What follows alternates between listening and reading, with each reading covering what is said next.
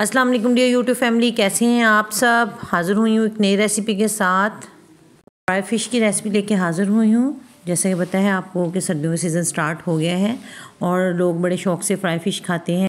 मेरे पास तकरीबन फ़ाइव से सिक्स किलो फ़िश है। मैंने इसको फ़िश को अच्छी तरह वॉश कर लिया है। वॉश करके मैंने एक बड़े बॉल में डाल लिए है। देखिए फ़िश के जो पीसीज हैं वो इस तरह के होने चाहिए। फ़िश के बड़े बड़े पीसीज नहीं करवाने। इस तरह फिर फ़िश फ्राई अच्छी नहीं होती। छोटे पीसीज ज़्यादा अच्छी तरह होते हैं फ्राई तो चलिए, मैं इसके स्पाइसेस आपको दिखाती हूँ। मैंने बड़े सिंपल से स्पाइसेस लिए हैं। नमक है, डेढ़ टेबल स्पून सूखा धनिया है, दो टेबल स्पून मैंने फ्रेश ग्राइंड की है दड़ा मिर्च ली है तीन टेबलस्पून भर के मैंने लिए हैं। ये पाँच से छः किलो फ़िश के लिए काफ़ी होती है इतनी। और मैंने एक मसाला लिया है, डिब्बा लिया है फ़िश मसाले का, किसी भी अच्छे ब्रांड का आप ले सकती हैं। और ज़ीरा लिया है मैंने वन टेबल स्पून इमली का पल्प लिया है मैंने दो से तीन टेबल स्पून गाढ़ा गाढ़ा होना चाहिए इमली का पल्प। और लेमन जूस मैंने पाँच से छः टेबल स्पून लिए हैं। ये देखिए तकरीबन एक आधे कप से थोड़ा सा कम ही है। और, अब मैं बताती हूँ कि आपने मसाला कैसे लगाना है। टिप नंबर मेरी वन ये है कि जब भी आप फ़िश को मसाला लगाने लगे तो जितने भी इंग्रेडिएंट्स हैं मतलब स्पाइसेस जितने भी हैं, वो एक बर्तन में इकट्ठे करके उसको अच्छी तरह मिक्स कर लें, ताकि जब हम मसाला फ़िश को लगाने लगे तो वो हर पीस को लग सके अच्छी तरह। ये देखिए मैंने सारा मसाला एक प्लेट में इकट्ठा कर लिया और इसको आपस में मिक्स कर रही हूँ। ये देखें स्पाइसी सारे आ, हमारे मिक्स हो गए हैं तकरीबन। ये स्पाइसेस इकट्ठे करने से ये नहीं होगा कि कहीं मसाला फ़िश को लगा कहीं नहीं लगा। जब हम ये मसाला उसमें ऐड करेंगे तो सारा इकट्ठा लग जाएगा। ये देखें अब मैं फ़िश को लेके एक बड़े बर्तन में निकाल रही हूँ। ये देखें फ़िश के पीसेस देखें आप कितने अच्छे बने हुए हैं। फ़िश बड़े बर्तन में निकालने का मतलब ये है कि जो स्पाइसेस हमने इसको फ़िश को लगाने हैं, वो अच्छी तरह फ़िश को लग सकें। ये देखिए, जो हमने मसाला एक प्लेट में बनाया था, वो मैं फ़िश पे डाल रही हूँ और इसको सारा मसाला मैं फ़िश पे डाल दूँगी। ये देखें इस तरह आपने एक जगह ही मसाला नहीं फेंक देना, इसको चम्मच के साथ सारा मिक्स करें और इस तरह आप फ़िश को हाथों के साथ मसाला में आप चाहें तो किसी और चीज़ के साथ भी मिक्स कर सकती हैं या हाथों पे ग्लव्स भी चढ़ा सकती हैं। मुझे इस तरह इजी लगा, मैंने इसलिए इसी तरह ही मसाला मिक्स कर दिया। अब मैंने इसमें ऐड किया है लेमन जूस और साथ में मैंने इसके डाला है इमली का पल्प, जो मैंने आपको दिखाया था। दोबारा से मैं मसाला मिक्स करूँगी फ़िश का। ये देखें ऐसे आप फ़िश के एक एक पीस को मसाला लगाएँ। ये देखें देखिए फ़िश को मसाला लग गया है। इस तरह मसाला लगाने से फ़िश का कोई पीस ऐसा नहीं रह जाता जिसमें मसाला ना लगा हो। ये देखें आप देख सकती हैं कि फ़िश को कितनी अच्छे तरीके से मसाला लगा है। ये देखें ये देखें मसाला बहुत ज़बरदस्त तरीके से आ, हो गया मिक्स। मैंने फ़िश में बहुत ही सिंपल से मसाले यूज़ किए हैं। देखिएगा, आप ये फ़िश घर में तैयार करके चेक कीजिएगा। देखिए, बिल्कुल बाज़ार जैसा टेस्ट आएगा और फ़िश बहुत मज़ेदार तैयार होगी आपकी।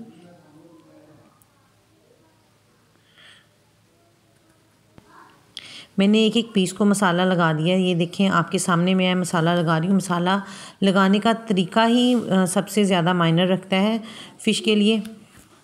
ये देखें। फ़िश को मसाला लग गया है और फ़िश रेडी हो गई है। ये देखिए, मसाला लग गया है। अब मैं आपको बताती हूँ कि इसको फ्रीज़ कैसे करना है। इसको आप इस तरह किसी भी बड़े बॉल में जिसमें आप फ्रीज फ्रीज़र में रख सकें या जो आपकी फ्रिज में पूरा आ जाए, उसमें डाल दें एक एक पीस करके और इसको फ्रीज़र कर दें। और अगर आपने थोड़ी देर बाद ही खाना है या फ्राई करनी है तो आप इसको तीन से चार घंटे मैरिनेट करें तो फिर ये खाने के लिए टेस्टी बनेगी। मैं इसको फ्रीज़र में लगाने लगी हूँ। चार पाँच घंटे के बाद मैं आपको दिखाती हूँ फ्राई करके। मैंने तैयार किया फ्रीज़ करने के लिए। अब मैं इसको करूँगी फ्रीज़ ये देखिए व्यूअर्स मेरी फ़िश हो गई है मैरिनेट ये देखें बहुत ज़बरदस्त मैरिनेट हुई है। मैंने बाकी फ़िश सारी फ्रीज़ कर दी है। उसमें से थोड़ी सी फ़िश आपको फ्राई करने के लिए निकाली है ताकि मैं आपको फ्राई करने का तरीका बता सकूँ। और मैंने आपको फ्रीज़ करने का तरीका तो पहले ही बता दिया है। चलिए मैं आपको बताती हूँ कि फ्राई करने के लिए हमें किस किस चीज़ की ज़रूरत है। हम फ्राई करने के लिए इसमें थोड़ा सा कॉर्नफ्लोर ऐड करेंगे, मैं आपको ऐड करके दिखाती हूँ। और फिर हम इसको कैसे फ्राई करना है, वो भी देखिएगा एंड तक वीडियो देखिएगा, ताकि आपको अच्छी तरह पता चल सके कैसे फ़िश को फ्राई करना है। ये देखिए कॉर्नफ्लोर मैंने लिया है और तकरीबन एक चम्मच मैंने इस पर डाल के थोड़ा सा इसको मिक्स करूँगी। ऐसे मिक्स कर लूँगी। ताकि वो जो मसाला है, वो चिपक जाए। आप चाहें तो जब मसाला लगा रही होती हैं, उसी टाइम भी उसमें कॉर्नफ्लोर ऐड कर सकती हैं। और चाहें तो जब आपने फ्राई करने के लिए निकालनी है फ़िश तभी आप इसमें कॉर्नफ्लोर ऐड कर सकती हैं। ये आपकी मर्ज़ी है। आप पे डिपेंड करता है कि आप इस पर कॉर्नफ्लोर कब लगाना चाहती हैं। ये कॉर्नफ्लोर लगाने का मकसद ये होता है कि इस पर से जितना भी मसाला है, वो जब हम डीप फ्राई करते हैं, वो उतरे ना, वो उसके साथ ही लगा रहे। ये देखें, मैंने एक साइड पे कढ़ाई में ऑयल फ्राई के होने के लिए रख दिया था लो फ्लेम पे। फ्लेम हाई नहीं रखनी हमने ऑयल की लो रखनी है। ताकि जो हम फ़िश जब हम डालें इसमें तो वो जले ना। ये देखिए फ़िश को कॉर्नफ्लोर भी अच्छी तरह लग गया है। अब मैं फ़िश को डालने लगी हूँ ऑयल में। मैंने आपको पहले ही बताया है। ये देखिए फ़िश को कॉर्नफ्लोर अच्छी तरह लग गया है। ऐसे आपने कॉर्नफ्लोर लगा लेना अच्छी तरह। ठीक है, अब मैं फ़िश को डालने लगी हूँ ऑयल में। मैंने आपको पहले ही बताया है कि ऑयल आपने लो फ्लेम पे रखना है ताकि जब आप इसमें फ़िश डालने लगें तो फ़िश एकदम से जले ना। ये देखिए।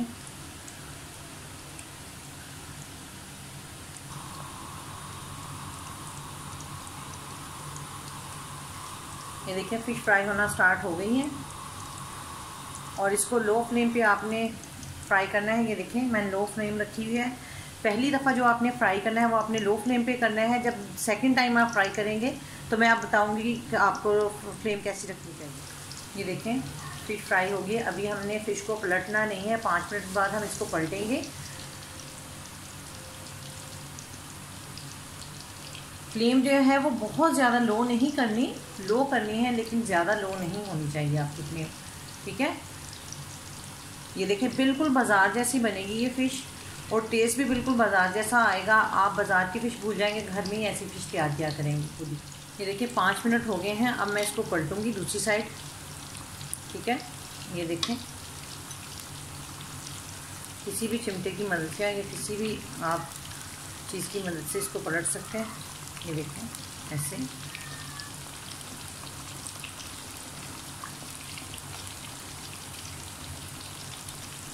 ये फ़िश पलट दिया मैंने अब इस दूसरी साइड में हम पाँच मिनट इसको फ्राई करेंगे।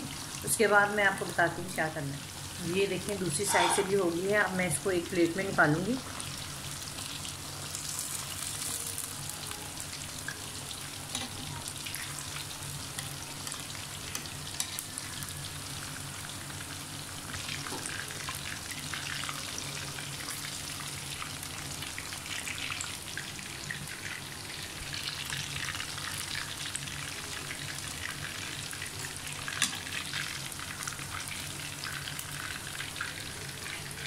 ये देखें, ये मैंने एक प्लेट में निकाल दी है। अब इसको मैं ठंडा करूँगी रूम टेम्परेचर में तकरीबन पाँच से दस मिनट के लिए। फिर इसको दोबारा इसको फ्राई करूँगी। डबल फ्राई करते हैं, हमेशा फ़िश को फिर ही फ़िश अच्छी तरह फ्राई होती है, वरना फ्राई नहीं होती। मैं डबल फ्राई आपको दोबारा करती हूँ। ये देखिए फ़िश हो गई है ठंडी। रूम टेम्परेचर में मैंने इसको ठंडा किया। दस मिनट हो गया ठंडी हुए को और चूल्हा मैंने बंद कर दिया था। अब मैंने दोबारा चूल्हा ऑन किया है। ठीक है? और फ्लेम हाई कर दी है। सेकंड फ्राई के लिए जब हम डबल फ्राई करते हैं, तब हम फ्लेम जो है वो हाई कर देते हैं। और अब मैं इसमें डालूँगी फ़िश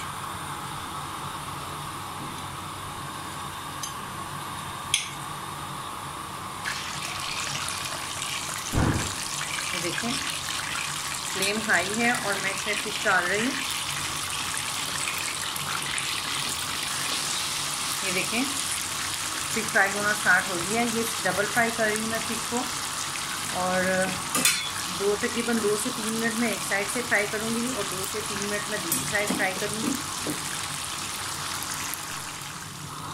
ये देखें, एक साइड से हो गई है फ़िश अब मैं दूसरी साइड इसकी पलटने लगी हूँ।